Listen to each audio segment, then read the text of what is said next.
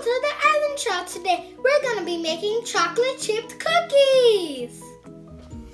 And this bag already comes with stuff you already need, except you have to do get a little bit of butter and melt it, softened butter, and a little bit of water. So let's get started.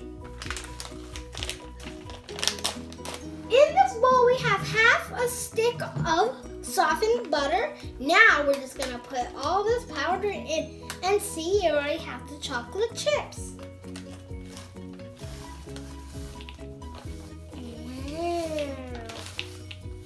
Now we're gonna put one tablespoon of water.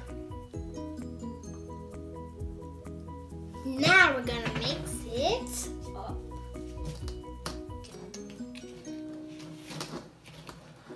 Guys, ooh.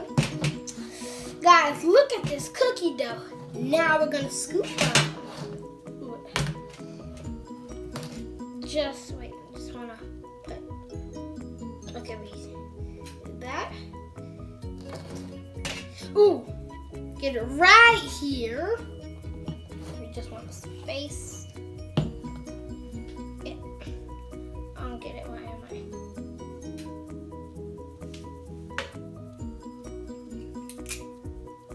be a little cookie. Also, you want to get, if you see um spreading them out, yes, you should spread them out so none of the cookies actually stick to each other.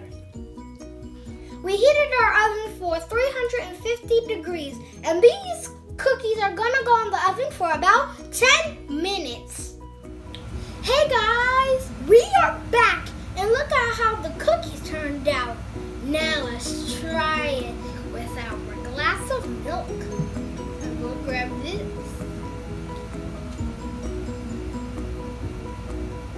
Mmm!